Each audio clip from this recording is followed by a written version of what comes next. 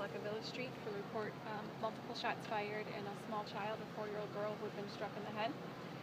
Um, we are on scene now investigating. We don't have um, much additional information to give to you at this time. She is um, in critical condition and has been flown to Froedtert Hospital. Do you have a suspect in this case? Are you looking for anyone? Um, right now, we, we don't have anyone in custody. We are actively investigating and we're looking for any leads that anyone may have to call us. With this being such a young child, you know, just uh, kind of what's the response from police? I mean, the response of Of course, these are some of the absolute most difficult calls for officers to respond on. You could hear it, of course, in their voices over the air when they responded, and um, it's it's very troubling for us. Was the child, she was inside a car at the time?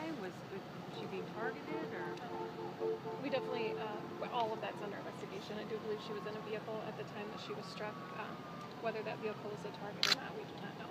was anyone else struck at all by, by the police? Uh, we don't have any reports of other injuries. I know it's all under investigation, but there's four or five casings on the corner. Do you think it involved another vehicle or people on foot? Um, I don't have that information.